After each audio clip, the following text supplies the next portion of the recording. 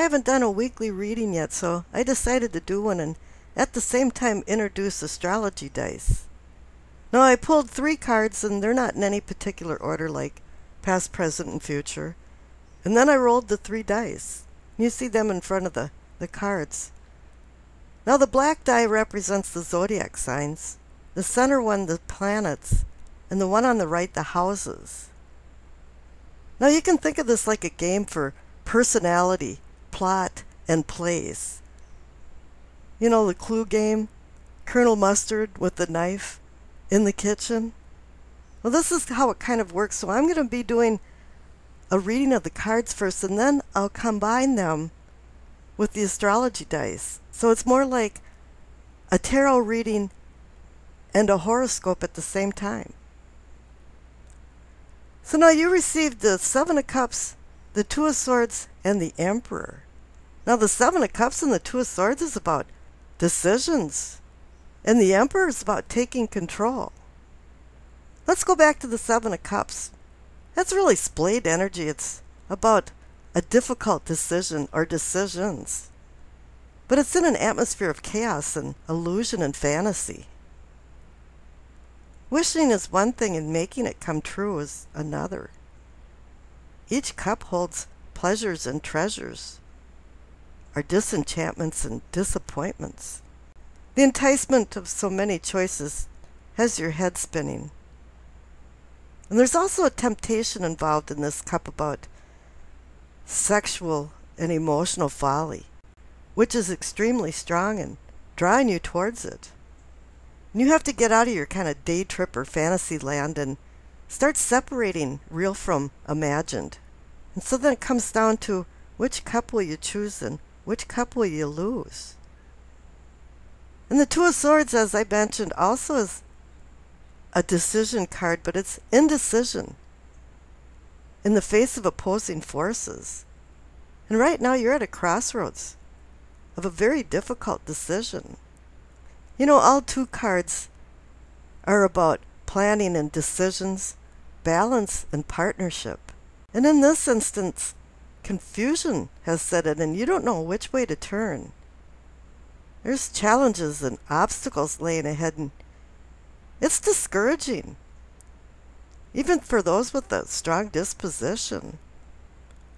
It's time for you to do some soul searching to find a resolution to your particular dilemma. And you know, what you have to understand too that not making a decision is a decision in itself, and at times the cosmos will take a handle on things and make one for you. And this might not be to your liking. Now, the emperor is about overseeing organization, structure, and responsibility with rules and regulations to manage his empire. But in this instance, the emperor personifies you because because Aries rules the emperor card. You'll see rams on the armrests of his throne. The emperor symbolizes power, leadership, authority, and vigilant governance. Decisions are made in his chamber with logic and reason. He leaves the emotional decisions to his soulmate, the Empress. He's like a CEO of a company, all the way down to the patriarch of a family.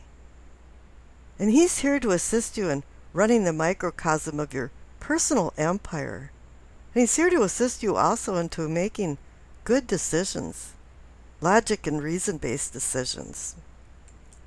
Okay, and then the three dice down on the bottom, you receive Gemini, Saturn, and the eighth house.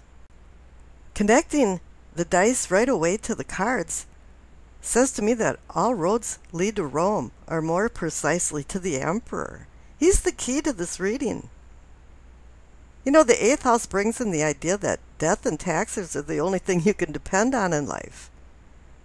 However, with the eighth house involved in it, you got your hands in the cookie jar of joint finances and other people's money. Initiatives and discipline hit the forefront. The combination of the cards above and the dice indicate that you will find new and exciting ways of conducting old mundane business into prospering new business affairs.